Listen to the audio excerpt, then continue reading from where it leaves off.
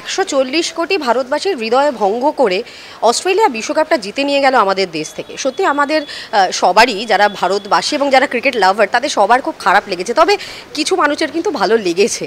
Specially যে সমস্ত অস্ট্রেলিয়ানরা আমাদের দেশে থাকেন তাদের ডেফিনেটলি নিজেদের দেশের জয় যথেষ্ট ভালো লেগেছে। তারা যথেষ্ট খুশি। আর এই তালিকায় রয়েছেন মোহনবাগানের অস্ট্রেলিয়ান প্লেয়াররাও ব্রেন্ডন হ্যামিল দিমিত্রি পেত্রাতস এরা প্রত্যেকেই কিন্তু নিজের নিজের মতো করে সেলিব্রেট করেছেন। I know. I gave a little bit of stick to all the, the, the staff and the players here. No, I watched. It was a beautiful game, and you know, fair play to, to both teams. You know, India top team. They went ten in a row. Unfortunately, uh, they lost it in the big dance. But um, you know, very happy uh, being Australian. But um, you know, you know, felt the, the atmosphere and and and um, it was it was good to be around the, this World Cup. So fair play to India. They put on a great spectacle.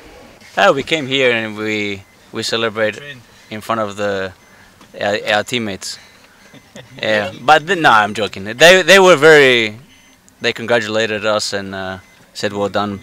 Um, it was a good game. I was actually flying at the time, um, so I didn't get to see the game. But everybody was texting me, so yeah. Camera Romesh के मोहतान all sport TV पानी से भरी बाल्टी जो जल्दी ऊपर लाएगा वही जीतेगा